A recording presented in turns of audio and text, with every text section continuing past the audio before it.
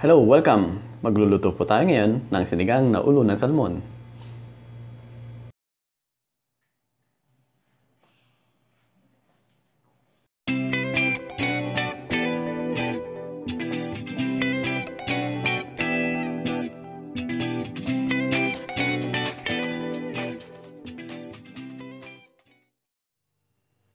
At ito po yung ating mga sangkap.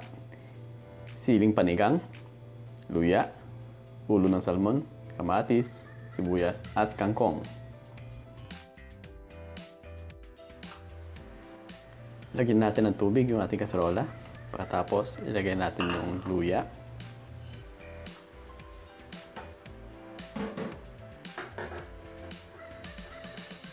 Sunod natin ilagay yung sibuyas.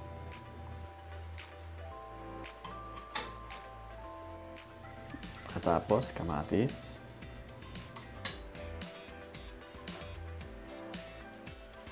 Lagyan natin ng sampalok powder o yung panigang. Yan ang magsaserve na pampaasim ng ating po sinigang.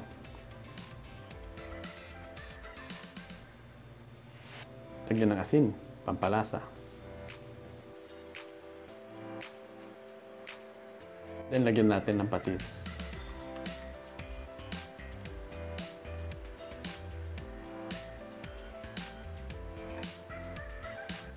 Hintayin natin kumulo yung tubig.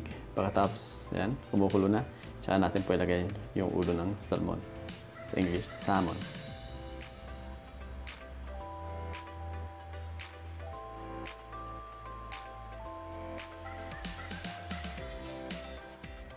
Hintayin lang natin na kumulo. Then after ng pagkakulo niya, mga 10 minutes, ay lalagyan na po natin yung sili na panigang.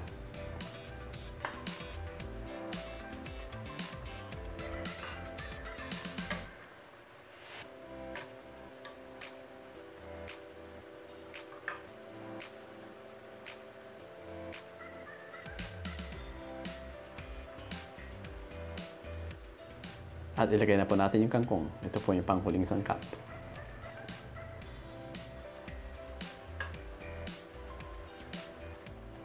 Pakuluan lang natin ng saglit. Pagkatapos ay atin na pong papatiin yung ating apoy. At heto, luto na yung ating pong sinigang na ulo ng salmon. At heto na po yung ating sinigang na ulo ng salmon. Tara, kain po tayo. To watch more videos, please don't forget to subscribe and press the notification bell. Thank you for watching. God bless you all.